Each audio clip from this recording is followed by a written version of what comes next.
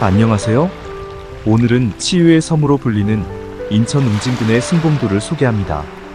승봉도는 아름다운 해안선에 만든 산책로를 따라 걸으며 만나볼 수 있는 멋진 기암괴석들이 많고 탁 트인 바다 풍경은 답답한 마음을 힐링시켜 줄 것입니다. 승봉도는 대부도나 인천에서 갈 수 있고 차량을 가지고 갈 수 있는 차도선과 쾌속선 등의 다양한 배편이 있습니다.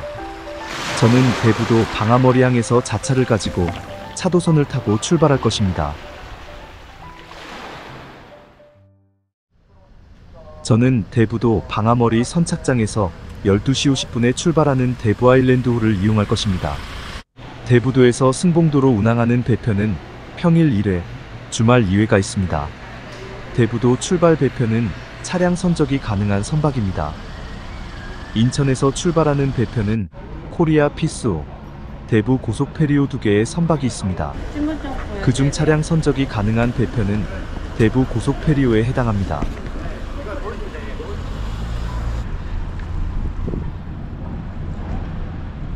이제 배에 탑승합니다. 생각보다 배 규모가 상당히 크네요.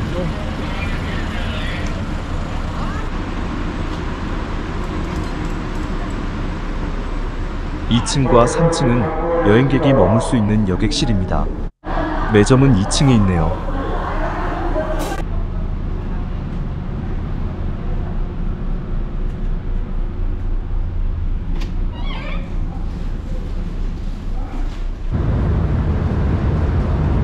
굉음을 내고 대부도를 배가 출발합니다. 승봉도까지는 1시간 40분 정도 걸린다고 하네요.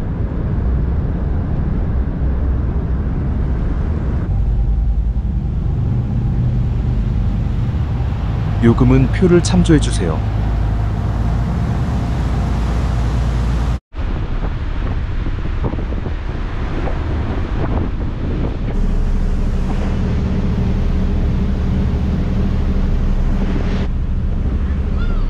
어디에서 왔는지 갈매기가 배를 따르고 있네요. 갈매기의 먹이도 주고 주변 경치를 감상하면 지루하지 않습니다.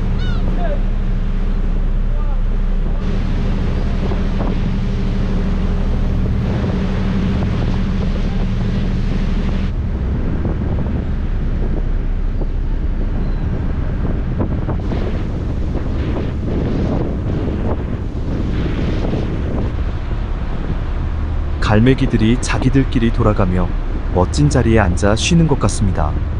신기한 장면이네요.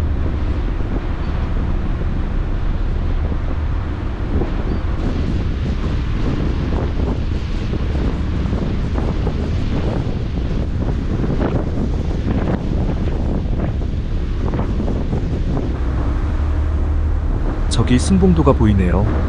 처음 오는 섬이라 약간의 설레임으로 기대가 됩니다.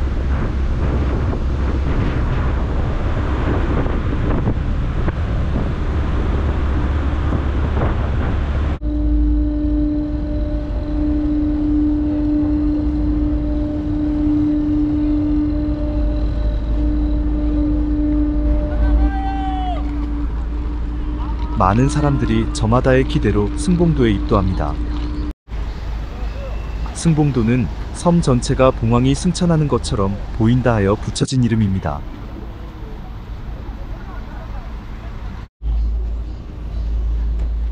선착장에서 오른쪽으로 직진하면 마을 입구가 나오고 좀 더 가면 이일레 해수욕장이 있습니다.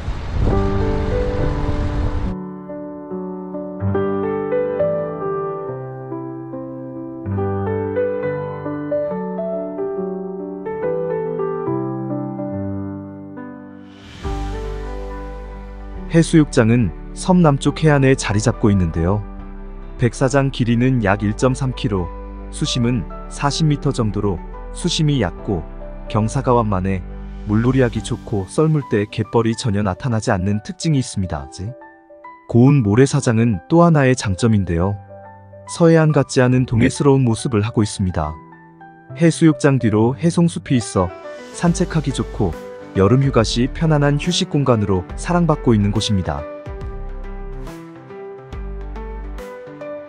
단단하고 고운 모래는 이일레 해수욕장의 자랑 중 하나입니다. 이일레 해수욕장은 승봉도 선착장에서 도보로 20분이면 도착할 수 있는 가까운 거리에 있습니다.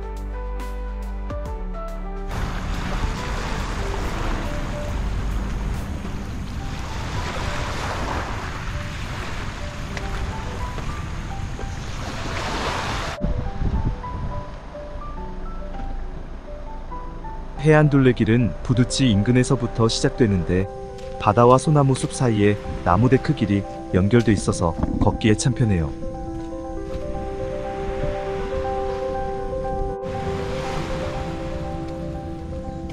부두치 해안은 모래와 자갈, 조개 껍데기들로 이루어져 있는데 파도가 많이 부딪힌다고 해서 부디치라고 불린답니다.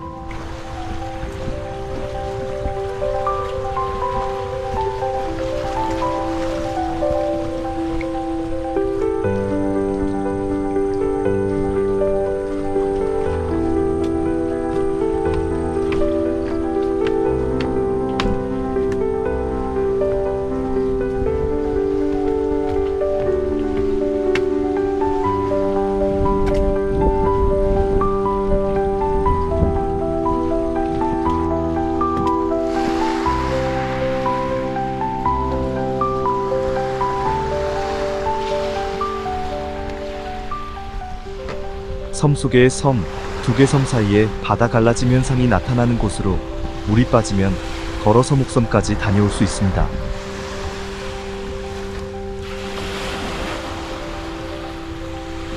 목섬은 작은 바위섬 형태로 둘레를 한 바퀴 둘러보는데 10분 남짓 걸립니다. 바닷물이 빠지면 물에 잠겨있던 바위들이 모습을 드러내 그곳에 붙은 소라나 고둥둥을 딸 수 있어요. 해안 둘레길 정자에서 목섬 쪽을 바라보면서 파도 소리를 들으면 힐링이 저절로 됩니다. 섬과 섬 사이로 물고기들이 힘차게 날아올라가는 모습도 볼 수 있으니 시간이 허락된다면 구경 한번 해보는 것도 재미있습니다.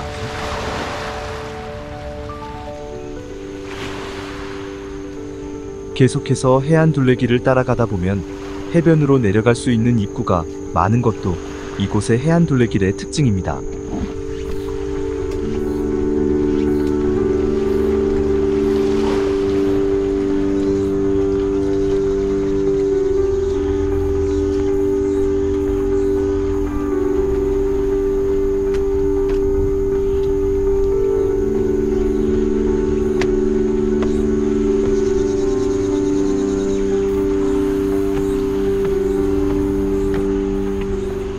산책로 전망대에서 바라보는 바다는 깨끗한 물과 예쁜 해안, 크고 작은 섬들이 승봉도는 작지만 아기자기한 매력이 가득한 섬으로 만드는 것 같습니다. 바다를 끼고 이어지던 산책로는 야트막한 산으로 방향을 틀면 그리 길지 않은 오르막길을 오르면 승봉도에서 가장 높은 전망 포인트인 신앙정에 도착합니다.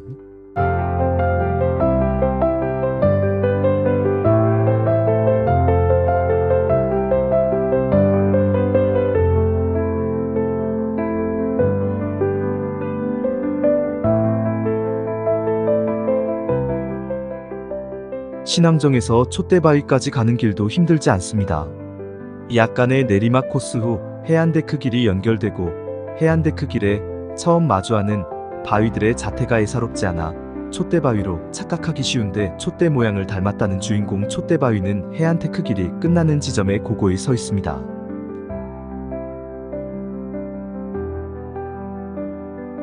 승봉도는 다른 섬과 달리 산들이 낮아 임야가 발달되어 섬의 대부분에 농사를 지을 수 있는 농경지가 많습니다.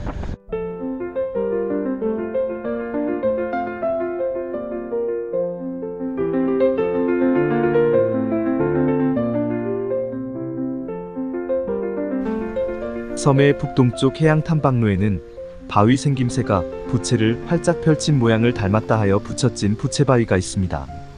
앞에서 보면 넓적하게만 보이지만 옆에서 보면 영락없는 부채 모양입니다. 바위에는 승봉도의 유배온 선비가 이곳에서 글을 쓰면서 학문에 정진했고 훗날 과거 시험에 장원급제했다는 전설이 전해집니다. 바닷가에 우뚝 선 부채바위는 햇빛이 쨍한 맑은 날이나 해질녘에 더욱 근사합니다. 햇빛이나 노을에 반사되어 황금 부채처럼 반짝이는 바위를 볼 수 있기 때문입니다.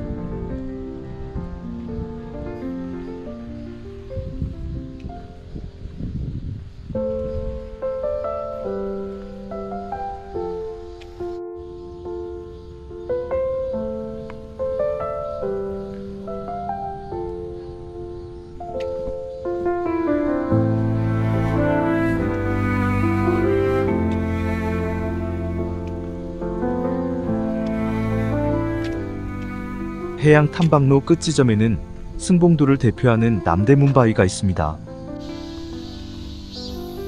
승봉도에는 해안가에 우뚝 솟은 기암괴석이 많은데 그 중에서도 남대문 바위는 가장 독특한 생김새를 자랑합니다. 바위는 오랜 세월 동안 파도에 깎여 가운데가 뻥 뚫린 거대한 무늬 형상을 하고 있습니다. 남대문 바위의 또 다른 별명은 코끼리 바위입니다. 바위의 전체적인 모양이 바닷물을 마시는 코끼리 코를 닮았다 하여 붙여진 이름입니다. 경사진 바위 꼭대기에 자리를 잡은 소나무 한 그루가 운치를 더하네요.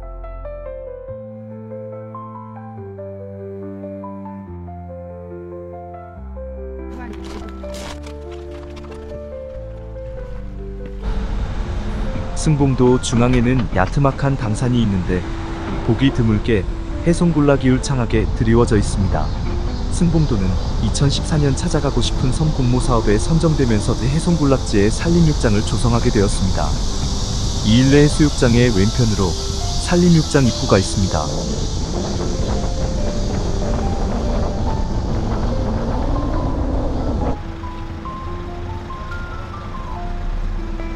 수도권에서 당일치기 섬 여행지를 찾는다면 추천하고 싶은 인천 자월면 승봉도입니다. 자차를 가지고 와도 좋고 도보로 섬을 한 바퀴 돌아도 좋습니다. 모래사장과 찰싹이는 서해바다 파도를 친구 삼아 한가로운 섬의 게으른 낭만을 만끽해 보세요. 목섬 앞 정자에 막걸리 한 잔을 새참으로 목섬의 풍경과 부두치 해변에 밀려드는 서해바다 파도를 온몸으로 느껴보세요. 오늘도 끝까지 시청해주셔서 고맙습니다.